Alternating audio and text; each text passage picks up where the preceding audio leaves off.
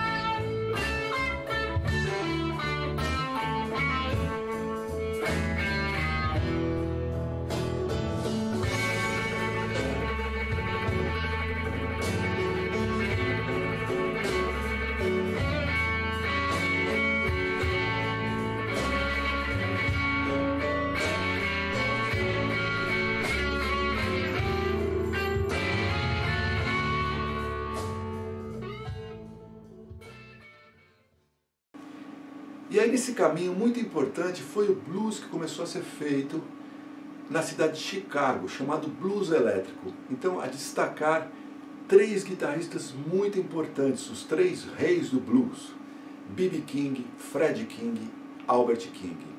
Junto com eles, Muddy Waters, e eu vou falar de outro muito importante, T-Bone Walker. Não é muito conhecido, mas podia citar vários que vão transformando o som do instrumento. Então é muito legal vocês ouvirem o som dessas pessoas, né? Para perceber a diferença, eu falei já anteriormente, entre um violão com captador e agora uma guitarra elétrica.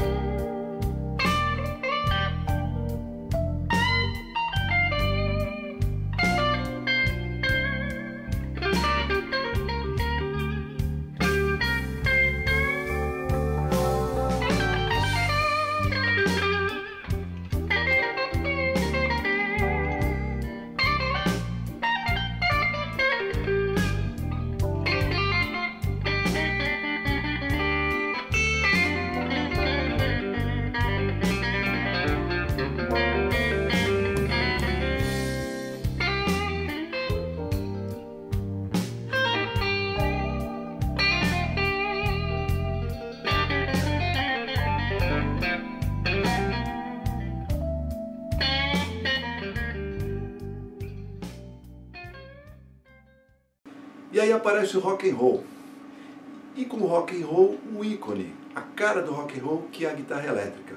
Chuck Berry, Little Richard, Elvis Presley, todos com um som muito forte e com influência direta do instrumento.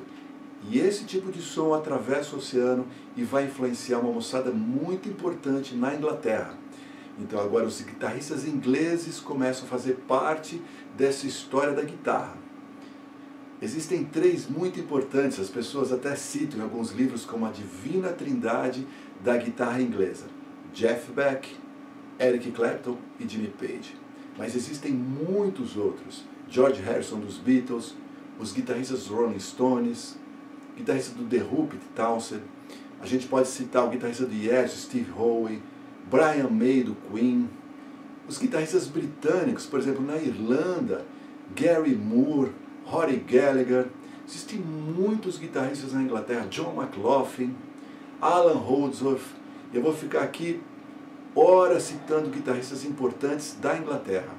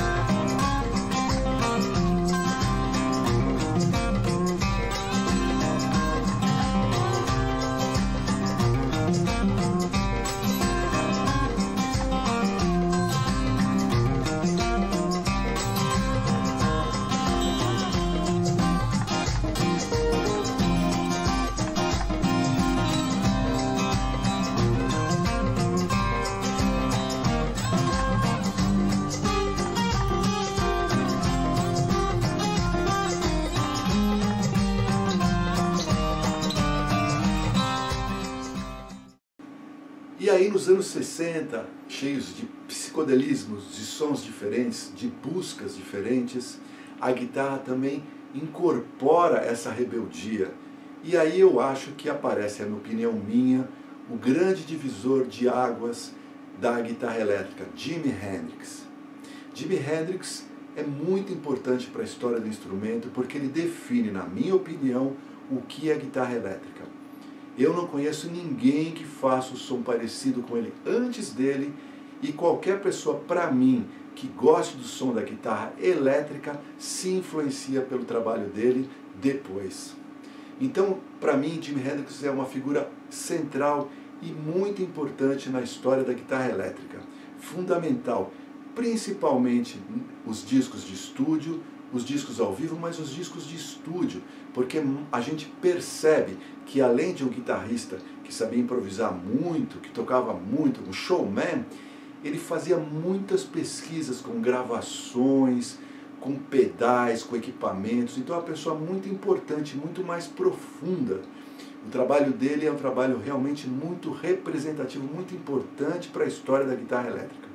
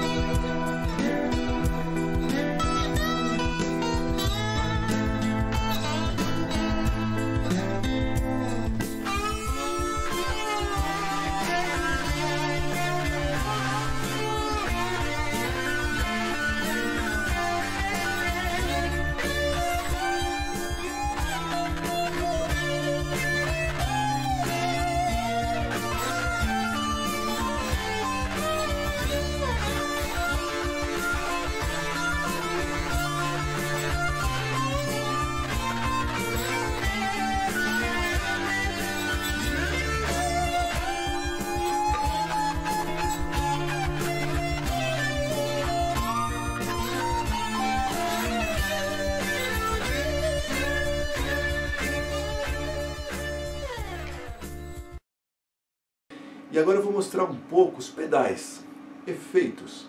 São possíveis. Isso também é uma particularidade da guitarra muito interessante. A gente pode ligar entre a guitarra e o amplificador vários efeitos. Vamos ver alguns, alguns. Mas hoje as pessoas encontram os efeitos dentro de computadores, dentro do que a gente chama de plugins. Então esse universo dos efeitos, das possibilidades usando a guitarra são praticamente infinitas.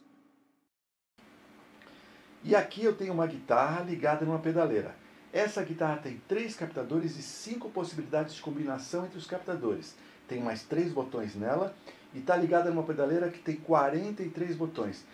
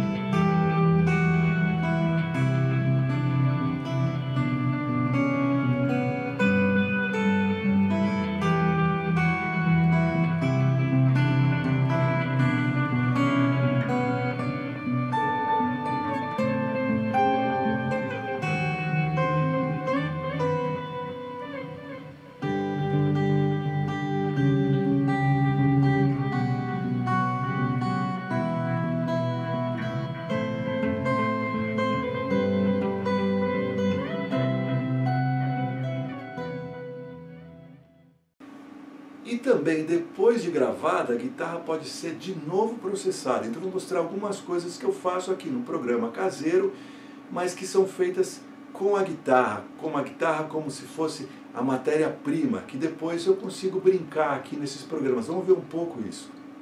Então, eu peguei um trecho de uma música aqui bem curto, na verdade, um, um efeito aqui, e fui fazendo algumas coisas. A primeira coisa, eu colei esse trechinho algumas vezes. Então, eu deixei ele repetindo quatro vezes, né?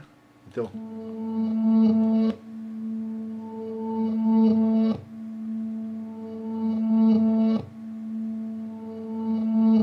Depois, o próximo passo, eu posso pegar esse efeito aqui e ligar, por exemplo, um reverb. Que vai dar um, um, um ambiente, né? E vai criar uma certa unidade entre os trechos, né?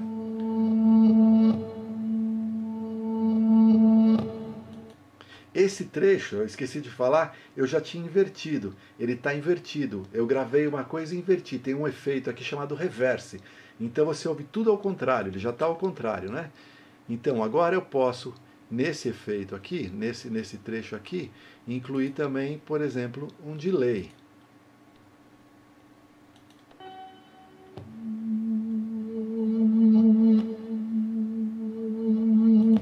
Queria agradecer a oportunidade de ter falado um pouco sobre guitarra, sua história, o caminho para a eletrificação, o nome de alguns ícones, depois as pessoas que se interessaram, vale a pena pesquisar. É lógico que envolve muito gosto pessoal, meu gosto pessoal, tem gente que vai discutir, tem gente que vai discordar, mas isso é sempre natural quando a gente fala de guitarra elétrica. E deixei para o fim uma historinha. Eu comecei a tocar guitarra há 40 anos porque eu fui ver um filme, o filme do Led Zeppelin, uma banda inglesa, e eu tocava violão e entendi que eu queria tocar a guitarra. Foi o som da guitarra que eu vi e ouvi naquele filme. E olha como o mundo dá voltas, né? Essa foto, essa daqui é a foto, estou eu, Jabas Maris e no meio Jimmy Page. Quer dizer, um sonho que se realizou. Conhecer o meu grande ídolo na guitarra, o Jimmy Page. A gente foi tocar no Rock in Rio e aí Jarbas e eu a gente teve a felicidade de conhecer e conversar um pouco com o Jimmy Page. A guitarra também proporciona essas histórias maravilhosas na vida das pessoas. Espero que vocês tenham gostado. Um abraço e até o próximo encontro. Tchau!